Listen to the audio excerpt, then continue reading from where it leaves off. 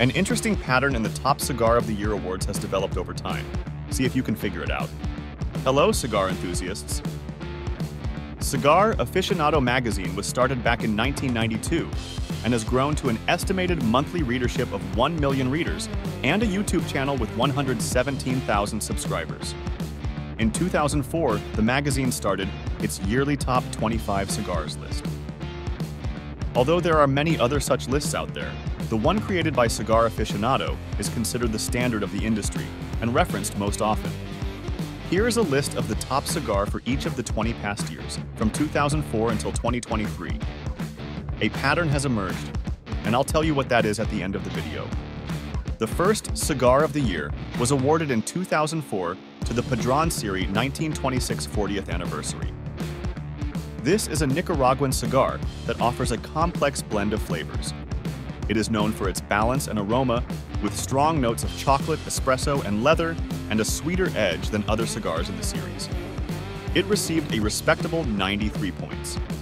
In 2005, the Fuente Fuente Opus X Double Corona was voted Best Cigar and received 95 points. This Dominican cigar is celebrated for its full-bodied flavors that include leather and earth, complemented by an essential sweetness typical of strong cigars. Its finish is rich and satisfying, making it a favorite among aficionados.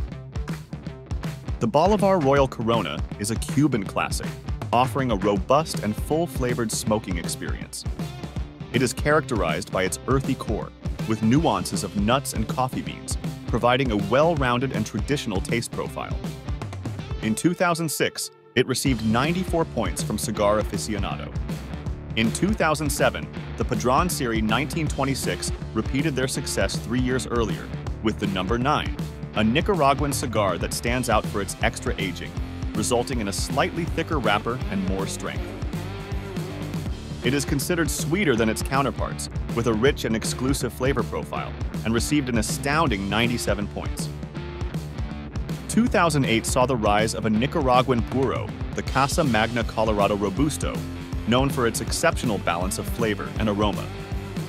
It delivers a medium to full-bodied smoke with a smooth and complex character and stood proud with 93 points and a first-place rating. 2009 saw the third time that the Padron family took top spot with their reserve number 45 Maduro. This Nicaraguan cigar is a full-strength masterpiece, radiating with the notes of chocolate, espresso, and leather. The Padron Family Reserve number 45 Maduro is a testament to perfection and a must-have for serious cigar enthusiasts, and received 95 points. The 2010 top spot went to the Cohiba Behike BHK 52, a Cuban cigar that is highly sought after for its exclusivity and rich flavor profile. It features a blend of the finest tobaccos, offering a luxurious smoking experience with a complex array of flavors, and for this, received a very nice 97 points. In 2011, Alec Bradley's Prensado Churchill was awarded the top spot. Hailing from Honduras, this cigar is renowned for its bold and sweet initial flavors that transition into a bold and spicy profile. It is a well-crafted cigar that provides a memorable smoking experience and was rewarded with a 96 score. 2012 saw the top spot go to one of my favorite cigar makers, My Father Cigars. The Flor de las Antillas Toro is a Nicaraguan cigar praised for its creamy nougat, white pepper, coffee, and cedar notes. It is a medium full strength cigar that envelops the taste buds with its rich flavors and received a rating of 96 points. Montecristo No. 2 is a Cuban cigar known for its stately appearance and substantial flavor profile and took top honors in 2013. This cigar is less common than some other Cuban cigars, but offers a solid core of earthy flavors, nuts, and coffee beans, and also received 96 points. We're at the halfway point, and since you're still here, you must be enjoying the information. Do me a favor and subscribe right now. Thank you.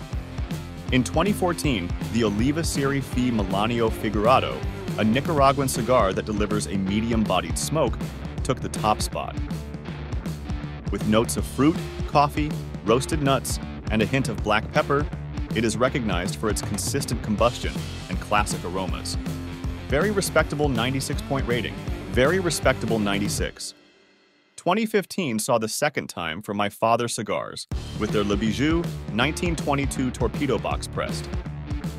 This Nicaraguan cigar is bold and very sweet upon first light, with a profile that changes to bold and spicy.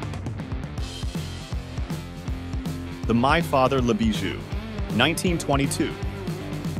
Torpedo Box Pressed is characterized by its Criollo and Habano tobacco flavors and received a very nice 97 points. 2016's top honors go to the La Flor Dominicana Andalusian Bull, which is a Dominican cigar that offers a dynamite smoke. It is a complex powerhouse with full-bodied flavors of leather and earth, and a finish that includes the essential sweetness found in the best of strong cigars. This one received 96 points from Cigar Aficionado. Arturo Fuentes' Don Carlos Eye of the Shark took the top spot in 2017. This stick is known for its high consistency and smooth, naturally sweet tobacco blends. This Dominican cigar provides a unique smoking experience with its distinct flavor profile and received 97 points. In 2018, a well-respected cigar maker with a long history, E.P. Carrillo, took the top spot with his Encore Majestic stick.